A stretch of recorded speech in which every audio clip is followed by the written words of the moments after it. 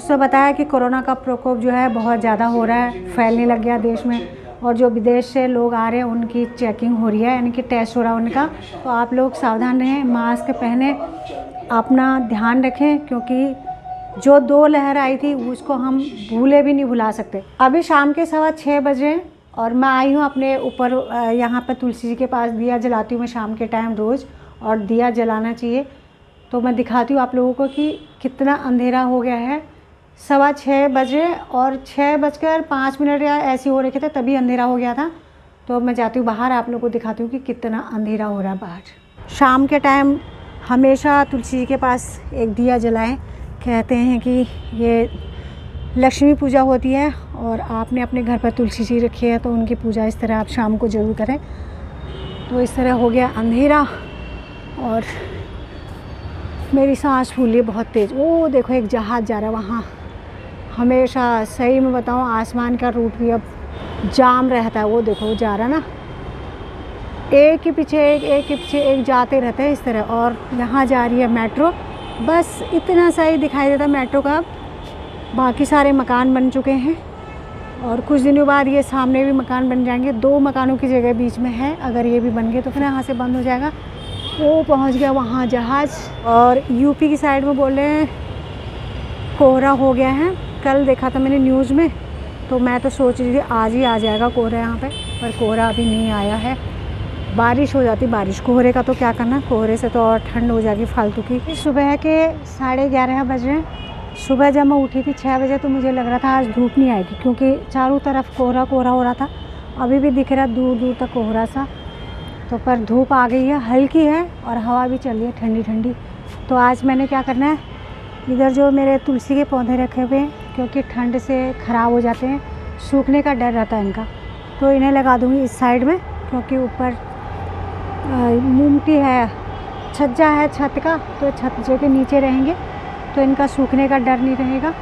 तो आज मेरा ये काम है और सारे पत्ते झड़ रहे हैं इनके। यहाँ पे है ना तुलसी चीज़ें? कुछ तो खा गई गिलहरी इनके पत्तों को। पता नहीं यहाँ से आती है, सारे खा जाती है।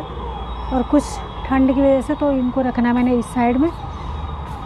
दो तीन पौधे तीन पौधे वहाँ पे, एक यहाँ पे, एक यहाँ पे। तो जहाँ जहाँ मिलेगी जगह मेरे को छज्जे के नीचे, वहाँ पर रख देती हूँ। और धूप आई है हल्की सी, और बारह बज जाएँगे, तब आएगी यहाँ पर धूप। फिर हम चार पाए लगा के वहाँ पर बैठते हैं। और सारा काम सुबह वाला हो गया है। थोड़ी देर में दिन का खाना बनाने के भी टाइम हो जाएगा। तो बेटा बोलता है, आज भी खिचड़ी बनाओ। हम तो खिचड़ी खा खा के परेशान हो जाता है भाई। बहुत खिचड़ी खाते बहुत ज़्यादा। खिचड़ी तो फिर भी खा लूँगी पर मेरे को पुलाव पसंद नहीं है। जो पुलाव बनाते ना कभी कभी तो चलो कोई बात नहीं गोभी आलू मटर ये सब डाल के कभी कभी सही लगता है पर हमेशा अच्छा नहीं लगता।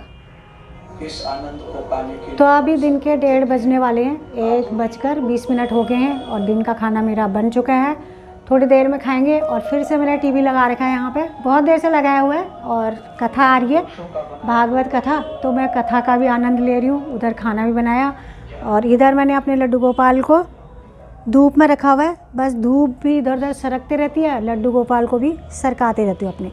और ये हैं गैया मैया तो इनको मैं ऐसे उड़ा के रखती हूँ। आज मैंने लड्डू गोपाल को मोटा वाला पहना रखा है, पगड़ी पहना दी ये वाली। ये मैंने ही बनाए थे ड्रेस अपने लड्डू गोपाल के लिए। ऐसे दिखाती हूँ आप लोगों को। वहाँ पर धूप आ रही है ना तो अच्छे से नहीं दिख रही है।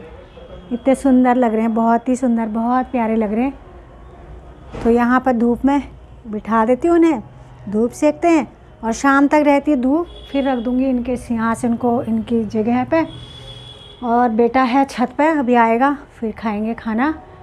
और टीवी देखते रहती हूँ और धूप आई है हल्की पुल्की बहुत ज़्यादा तेज़ धूप नहीं है।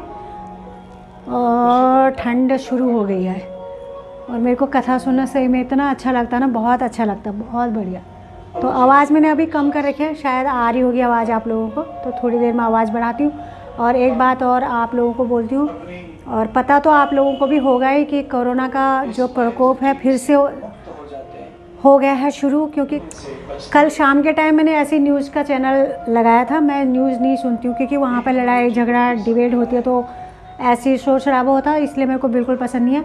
तो कल मैंने अचानक ऐसे ही लगाया कि थोड़ा सा न्यूज़ देख लेते हैं कि क्या हो रहा है देश में। और वैसे तो हमें मोबाइल पर पता चल ही जाता है थोड़ा बहुत। तो उसने बताया कि कोरोना का प्रकोप जो है, बहुत ज़्यादा हो रहा है, फैलने लग गया देश में। और जो विदेश से लोग आ रहे हैं, उनकी चेकिंग हो रही है, यानी कि टेस्ट हो रहा है उनका।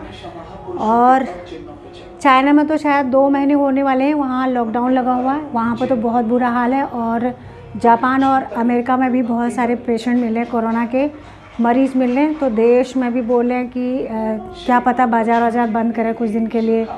जो भी करेंगे तो कल मैंने ऐसी न्यूज़ सुनी तो आप लोग सावधान रहें मास्क पहने अपना ध्यान रखें क्योंकि जो दो लहर आई थी, उसको हम भूले भी नहीं भुला सकते, क्योंकि वो महामारी कितनी भयानक थी। आप लोगों को भी पता है, हमें भी पता है।